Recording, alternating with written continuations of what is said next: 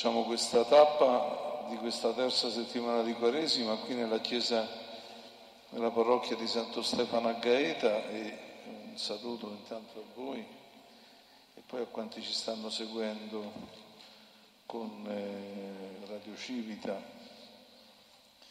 e gli altri mezzi della diocesi. Stiamo piano piano allargando la nostra famiglia e tanti si uniscono a questo momento che vuole un po' scandire la nostra Quaresima intesa quest'anno come un, eh, un, esodo, noi siamo sempre in esodo, sempre in uscita, sempre abbiamo bisogno di liberarci da un Egitto e trovare una terra promessa. E in questo cammino stasera abbiamo ascoltato la lettura del brano dell'Esodo che ci riporta al momento più importante del cammino del popolo nel deserto. È il momento in cui si annuncia che fra questo popolo che abbiamo visto nelle settimane precedenti era dominato spesso dalla paura, dalla sfiducia, che perdeva spesso il senso del cammino e se la prendeva a turno ora con Dio, ora con Mosè e Finalmente questa sera abbiamo ascoltato il brano in cui accade che Dio vuole legarsi ancora di più con questo popolo che è poi il segno di tutti i popoli nel tempo e nella storia. Una lettura attenta di questo testo ci mostra che qui il, lo scrittore sacro non ha voluto solamente fare una cronaca, no? darci una notizia, ma ha raccontato le cose in maniera che questo racconto sia valido per ogni generazione no? e anche per noi che abbiamo a che fare con questo momento nel deserto, perché noi siamo i figli della nuova alleanza, ma non ci sarebbe nessuna nuova alleanza se non ci fosse stata questa alleanza. E c'è nel racconto, vedete, una breve indicazione eh, geografica, eh, si parla del deserto del Sinai, di Refidim, c'è una breve indicazione geografica e c'è l'incontro la descrizione dell'incontro fra Mosè e Dio con la proposta eh, di questa alleanza al quale proprio alla fine della pagina che abbiamo letto il popolo eh, reagisce positivamente. E poi finalmente al versetto nono abbiamo la manifestazione eh, di Dio. Mm, se avrete modo di leggervi con calma il brano, eh, si ha l'idea che Mosè sembra che salga due volte sul monte Sinai, la prima volta per ricevere la proposta di Dio e la seconda volta per riferire la decisione del popolo. Sono delle descrizioni fatte con eh, eh una grande sensibilità narrativa, un po' si e spiegano le cose come vanno fra Dio e gli uomini alla stessa maniera con la quale vanno fra noi uomini e quindi le cose si dicono, si ridicono. Perché sale Mosè? Qual è l'oggetto? Che cosa lo spinge a salire sul monte? Ci viene detto che il motivo è ascoltare una parola. Mosè sale sul monte Sinai, per ascoltare una parola che è la parola di Dio. La protagonista di questo brano, di questo racconto, di questa alleanza è la parola. E questo è già un elemento di attualità. Non c'è relazione fra persone se non si parlano. E la stessa cosa è fra noi e Dio. Dio può stare in silenzio, ma non è muto. La sua parola ci raggiunge sempre e per noi la sua parola è una persona, è Cristo stesso. Allora guardiamoci, guardiamoli questi spazi che sono messi in scena. Vedete quante volte se avete il brano davanti agli occhi lo potete con più facilità notare, quante volte si parla del deserto. Lo spazio dominante di, di questa pagina è il deserto. Il deserto che sta di fronte al monte Sinai e nel quale il popolo sta accampato. Si immagina che questo monte Sinai sia un, un vulcano, Arrivarono nel deserto, dice il brano, giunsero nel deserto, si accamparono nel deserto, Israele si accampò nel deserto. È una ripetizione che per noi che questo esodo man mano lo stiamo leggendo evoca tanti altri momenti, perché tutto quello che è accaduto fino adesso è accaduto nel deserto, soprattutto è nel deserto che Mosè ha preso il nome del roveto di Dio che bruciava nel roveto. È nel deserto che Mosè ha capito la sua missione verso il popolo, è nel deserto che Dio in questo deserto si rivelerà al suo popolo. E bisogna quindi tenere presente questo, questo deserto non si potrà uscire da questo deserto, ci dice il brano che abbiamo letto, senza che ci sia un incontro con Dio.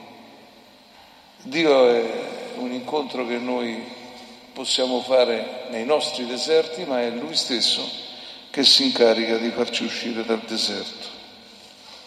L'incontro con Dio è decisivo, è necessario per uscire da quel calore, da quella sabbia che per antonomasia è ostile alla vita. Allora nei nostri deserti, quelli personali, quelli ecclesiali, quelli che coinvolgono tutta l'umanità, quanto se dovessimo disegnare il mondo, quello che stiamo vivendo, le relazioni, quanto ci servirebbe e ci verrebbe utile il colore del deserto. Quando noi facciamo esperienza delle condizioni ostili della vita, ci rendiamo conto che non siamo capaci di uscire da soli, ci rendiamo conto che abbiamo bisogno che qualcuno ci aiuti ad uscire dai nostri deserti. E allora possiamo certamente dire che, che questo nostro tempo provato, ma anche molto dotato di mezzi e di strumenti, questo nostro tempo lo stiamo toccando con mano, rimane insabbiato senza un incontro con Dio. Noi siamo capaci di, e siamo talmente intelligenti e bravi e progrediti che siamo pure capaci di organizzarlo il deserto in maniera tale che non sembri più nemmeno deserto. Ma certo è che un deserto è sempre un luogo estraneo alla vita, che nel deserto ci si sta, ma bisogna uscirne. Certo è che per quanto noi lo possiamo organizzare, non eh, viviamo senza che qualcuno ci aiuti ad attraversarlo, ci dice la parola di Dio, senza l'incontro con Dio. Ci può capitare di accomodarci nel deserto, capita a tutti, capita anche a noi. E quando è che ci accomodiamo nel deserto? Quando smettiamo di attendere, quando accettiamo che l'unico orizzonte che abbiamo è la sabbia quando a un certo punto smettiamo di crederci. Mi sto insistendo su questo perché io credo che anche nella Chiesa può nascere la tentazione di fare come se non dovessimo incontrare nessuno, di fare come se l'unico orizzonte è quello della sabbia, di fare come se Dio non esistesse. E questo ci accade ogni volta che siamo rassegnati. Il racconto ci dice che Dio stesso però si preoccupa di creare una, vita, una via d'uscita dal deserto e per questo, per aiutare questo popolo ad uscire dal deserto, chiama Mosè e gli dice sali sul monte. E leggiamo no, con calma questa manifestazione di Dio no, che chiede a Mosè, lo chiamò dal monte dicendo di salire e poi questo dirai, questo annuncerai e comincia a raccontare agli israeliti quello che serve loro per riprendere fiducia, per riprendere coraggio. Nel parlare a Mosè, Dio gli racconta quello che è accaduto, gli racconta quello che era accaduto fino a quel momento, gli racconta l'uscita dall'Egitto, gli dice guardate, voi avete visto e poi gli dice voi sarete, gli racconta il passato e gli fa vedere il futuro. La prima cosa che dobbiamo fare noi per uscire dai nostri deserti la prima cosa è vedere, cioè leggere gli avvenimenti con lo sguardo della fede, che significa vedere Dio presente nella nostra storia. Questo debbono fare gli ebrei, si debbono rendere conto che se sono arrivati fino a quel punto è perché Dio li ha condotti. Stanno camminando verso la libertà perché Dio li ha voluti liberi, perché Dio li ha visti liberi. L'invito che viene fatto a questo popolo è vedersi come li vede Dio. Dio li vede un popolo, li vede liberi e chiede loro, impegnatevi ad essere come vi vedo io. E credo che questo sia tanto importante perché io penso che la fatica che facciamo è proprio questa, di non riuscire a vederci come ci vede Dio. Probabilmente le persone più sfiduciate di noi stessi siamo proprio noi, che ci rassegniamo a come siamo fatti. E anche verso il mondo noi spesso abbiamo uno sguardo rassegnato, anche verso gli altri. Li vediamo come sono e non pensiamo che possano essere altro e soprattutto non li vediamo come li vede Dio. Io credo che ci sarebbe utile pensare a questo sguardo di Dio e capire questo sguardo come un suo impegno concreto. E infatti continua a parlare a Mosè dicendo che quello che lui vuole, crede, vede nel popolo, lui lo vorrà realizzare. Lo vuole questo popolo, lo vuole libero e lui non si rassegna a non vedere realizzato quello che lui vede. C'è in tutto questo brano dell'Esodo, in tutto l'Esodo, un itinerario di uscita un itinerario di cammino per poi entrare nella terra promessa. Dell'uscita il popolo tende a dimenticarsi, oppure come abbiamo visto nelle volte passate, la contesta come fonte di guai. Certo è che senza uscita non ci sarebbe questo viaggio e questa liberazione. E allora lui, parlando dell'uscita, lo scrittore sacro dice e usa un'immagine bellissima che è quella delle ali d'aquila. Dice, ricordatevi come io vi ho fatto uscire su ali d'aquila.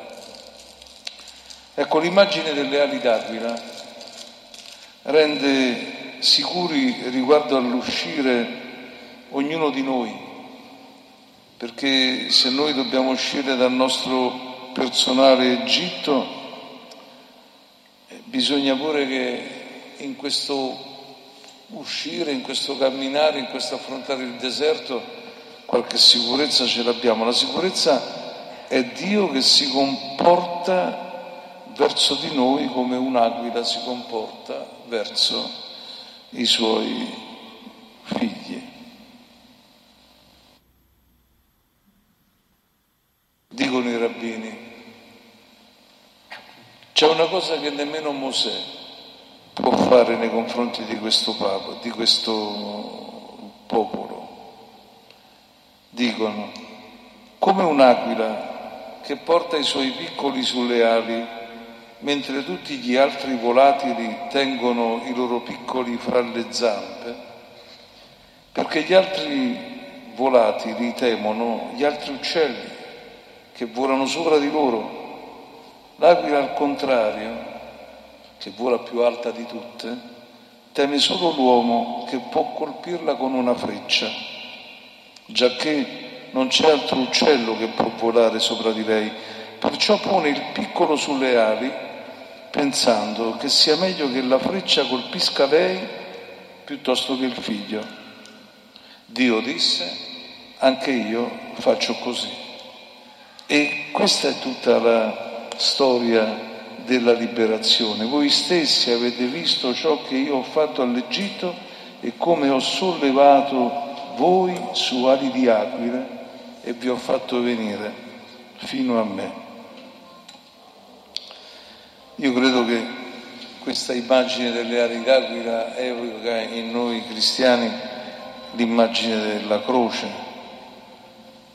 Quando pensiamo che è meglio che una freccia colpisca l'aquila piuttosto che i suoi piccoli, penso che non possiamo non pensare all'amore che noi vediamo nel Cristo crocifisso, che è quello di farsi colpire piuttosto che farci, farci colpire.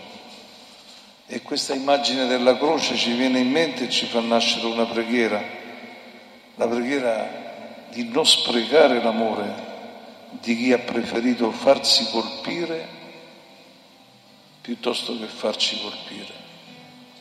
Questo forse è un aspetto della nostra preghiera cristiana che forse tendiamo un po' a non eh, sviluppare più, ma proprio mettersi di fronte alla croce semplicemente commuovendosi di questo fatto. Ma guarda, piuttosto far colpire me, ti sei fatto colpire tu. È, è un racconto di, di comunione che non deve essere spiegato, deve essere sentito. E l'alleanza nasce in questa atmosfera, quando Dio comincia a dire va bene tutto, ma soprattutto capite questo, che voi per me siete come i piccoli per un'aquila. Ed è qualcosa che ci deve scaldare, rassicurare, tranquillizzare, c'è poco da capire, non c'è nessuna relazione con Dio se non c'è questa consapevolezza di essere così importanti per Lui e non c'è nessuna trasmissione di fede se non questa. Ti voglio raccontare quanto sei importante per Dio. Ma quante cose diciamo noi per trasmettere la fede? Ma è questa comunione l'unica che riesce a trasmettere la fede perché ti fa commuovere, perché ti scalda il cuore perché ti fa sentire forte, protetto. Questa è la testimonianza di fede che dobbiamo darci gli uni gli altri e che noi possiamo dare a tutti. Noi siamo lo scopo di il pensiero di Dio. E allora lo capiamo, no?